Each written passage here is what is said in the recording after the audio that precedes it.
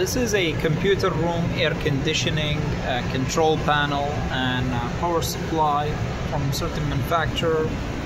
So you got the three phases of power coming in from this disconnector. That is the main incomer that's the supply to the unit.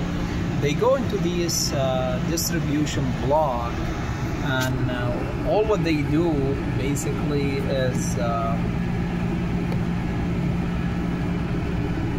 they you feed in a big one and then a big uh, terminal and then you can uh, transition to smaller smaller cables and the reason is that you have uh, several uh, individual loads of course in air conditioning units. So it's a very nice way to do it. So you can see there is like uh, two compressors a, a, fan motor a humidifier a reheater. So each one will take um, individual wire feeds uh, from there from that distributor and here we have the main energizing for the main component like the two compressors, the fan, humidifier, the reheater.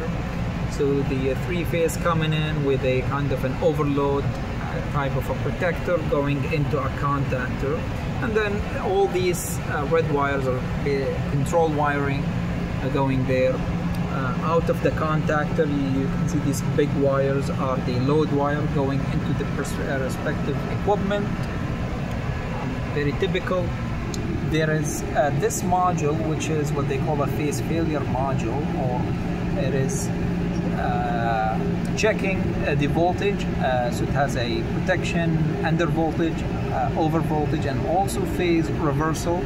It's a three-phase system.